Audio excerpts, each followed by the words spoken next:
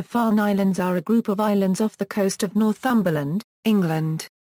There are between 15 and 20 islands depending on the state of the tide.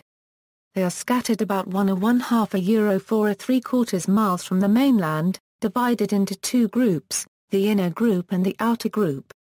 The main islands in the inner group are Inner Farne, Knoxes Reef and the east and west Wideopens and the Megstone. The main islands in the outer group are Staple Island, the Brownsman, North and South Wamses, Big Harcar and the Longstone. The two groups are separated by Staple Sound. The highest point, on Inner Farne, is 62 feet above mean sea level. History equals monks and hermits equals, the earliest recorded inhabitants of the Farne Islands were various Culdees, some connected with Lindisfarne. This followed the old Celtic Christian tradition of island hermitages, found in England, Ireland and Scotland. The islands are first recorded in 651, when they became home to St. Aidan, followed by St. Cuthbert. Cuthbert isolated himself on the islands until he was called to the bishopric of Lindisfarne, but after two years he returned to the solitude of the Inner Farne and died there in 687, when St. Æthelwold took up residence instead. Among other acts, St. Cuthbert introduced special laws in 676 protecting the eider ducks, and other seabirds nesting on the islands. These are thought to be the earliest bird protection laws anywhere in the world. The islands were used by hermits intermittently from the 7th century. These included St. Bartholomew of Farne. The last hermit was Thomas de Melsonby, who died on the islands in 1246.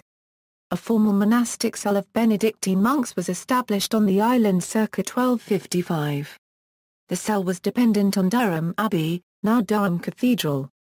A very small cell, it was usually home to only two monks although on occasion this rose as high as six.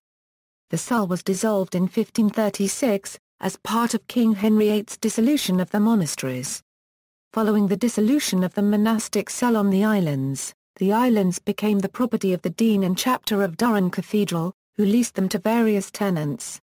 In 1861 the islands were sold to Charles Thorpe, who was at the time Archdeacon of Durham. In 1894 the islands were bought by the industrialist William Armstrong, 1st Baron Armstrong. The islands are currently owned by the National Trust. Remains still exist of the 7th century anchorite cell used by St. Aidan and St. Cuthbert, as do the remains of a 14th century chapel associated with the cell. Known as St. Cuthbert's Chapel, the chapel is described as a single cell building of four bays, the remains of a second chapel have been incorporated into a later building. Equals Grace Darling equals, the Farne Islands are associated with the story of Grace Darling and the wreck of the Forfarshire.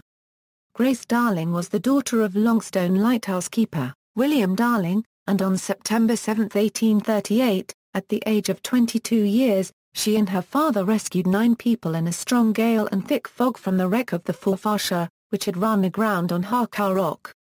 The story of the rescue attracted extraordinary attention throughout Britain and made Grace Darling a heroine who has gone down in British folklore. Today, the islands have no permanent population, the only residents being National Trust assistant rangers during part of the year, they live in the old Peel Tower on the inner Farne and the Lighthouse Cottage on the Brownsman in the outer group. The Peel Tower was built c. 1500, by Alfred Thomas Castell, Prior of Durham. There is also a chapel set up on the side of St. Cuthbert's Oratory 600 years ago. It was restored in recent times with old material from a contaminated cathedral. Equals lighthouses equals. The first lighthouse was built on the islands in 1773. There are currently two lighthouses operated by Trinity House on the Farne Islands, Farne Lighthouse, built in 1811 and originally named Inner Farne Lighthouse, Longstone Lighthouse, built in 1826 and originally named Outer Farne Lighthouse. Former lighthouses on the islands include, Farne Island Lighthouse, Staple Island Lighthouse, Brownsman Lighthouse, a minor light was also established on the northwest of Farne between 1811 and 1910. All the operational lighthouses on the Farnes are now automatic and have no resident keepers, although in former years they did. The lighthouse is now maintained by Trinity House via their local lighthouse attendant, George Shiel, who provides guided tours inside the lighthouse. ruins of some of the older lighthouses may be seen, for example on the Brownsman, where there are two. Before the lighthouses there were beacons on several of the islands. The prominent white streak on the cliff facing the mainland is often thought by visitors to be bird droppings, although many parts of the islands do exhibit this coloring, in this case it is the result of chalk deposits from the many years of spent calcium carbide from the lighthouse being thrown down the cliff. This calcium carbide was used to generate acetylene which was used as fuel for the light before electricity came. Ecology and natural history In the warmer months the Farnes, an important wildlife habitat, are much visited by boat trips from Seahouses. Local boats are licensed to land passengers on Inner Farne, Staple Island and the Longstone. Landing on other islands is prohibited to protect the wildlife. At the right time of year many puffins can be seen and these are very popular with visitors. On the Inner Farne, the Arctic terns nest close to the path and will attack visitors who come too close. Some of the islands also support a population of rabbits, which were introduced as a source of meat and have since gone wild.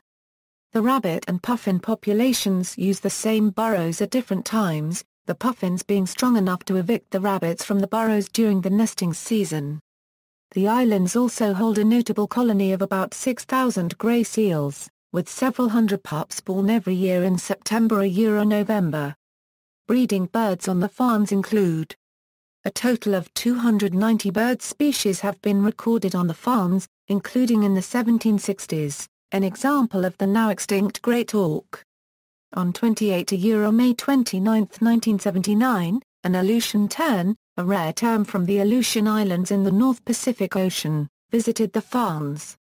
It was the first, and still the only, member of his species ever seen anywhere in Europe. It remains a complete mystery how it arrived here. A longer-staying unusual visitor was Elsie the lesser-crested tern, who visited the Farnes every summer from 1984 to 1997. During that period, she raised several hybrid chicks, and attracted several thousand birders keen to see this species in Britain. Lesser-crested terns normally nest on islands off the coast of Libya and migrate to West Africa for the winter. It is thought that Elsie took a wrong turn at the Straits of Gibraltar on spring migration. An Arctic tern from the Farnes, ringed as a chick not yet old enough to fly in summer 1982, reached Melbourne, Australia in October 1982, a sea journey of over 22,000 kilometres in just three months from fledging. This remains one of the longest distances travelled by any bird. One classic view of the Farnes, very popular with photographers, is that from the harbour at Seahouses. However, they are closer to the mainland further up the road northwards towards Bamburgh and excellent views may be seen from here, in the vicinity of the Monk's House Rocks, as well as from Bamburgh Castle and Beach. Geology The Farnes are resistant igneous dolerite outcrops. These would originally have been connected to the mainland and surrounded by areas of less resistant limestone. Through a combination of erosion of the weaker surrounding rock, and sea level rise following the last ice age, the Farnes were left as islands. Because of the way the rock is fissured, dolerite forms strong columns. This gives the islands their steep, in places vertical cliffs, and the sea around the islands is scattered with stacks up to 66 feet high. Many of the small islands are bare rock, but the larger islands have a layer of clay subsoil and peat soil supporting vegetation. The rock strata slope slightly upwards to the south, giving the highest cliffs on the south and some beaches to the north. Shipwrecks and diving, as well as being popular with birdwatchers, the Farne Islands are a popular scuba diving location, with a variety of sites suitable for all levels of diver. The islands appeal to divers for the seals and wrecks. The grey seal colony at the Farnes numbers about 5,000. They are curious and will often look in on divers in the water and are impressive to watch underwater. Hundreds of ships have been wrecked on the Farnes over the years, providing plenty for wreck divers to look at. Among them are, notable dive sites and wrecks, Chris Christensen, a Danish steamer that sank on February 16, 1915. She lies close into the reef off the south tip of Longstone, outer Farnes in about 98 to Euro 115 feet at Abyssinia, a 453-foot German steamship that drove onto Knifestone, Outer Farnes, on September 3, 1921. She lies in about 30 a euro 66 feet at Britannia, a 740 t, 210-foot British cargo passenger steamship that struck the Callers, Outer Farnes, in thick fog on September 25, 1915. The wreckage lies between about 26 a euro 98 feet at Saint Andre was a 1120T French steamship carrying pig iron. On October 28, 1908 she hit the Crumbstone and floated off to sink finally at Staple Island. She lies in about 56 a euro 82 feet at. It is generally possible to dive at the Farnes regardless of wind direction. There is always shelter somewhere. Some dive locations even provide the opportunity to combine diving and birdwatching, in particular the Pinnacles, where guillemots can be found fishing at safety stop depth. References. External links, information on the Farne Islands, Seahouses and North Sunderland, Farne Islands Information at the National Trust, Farne Islands Access and Information, John Whiterig, Benedictine Hermit on Farne, Northumberland Coast a Euro Area of Outstanding Natural Beauty a Euro Northumberland Coast AONB Site, Lighthouse Access and Boat Trips, Diving Around the Farne Islands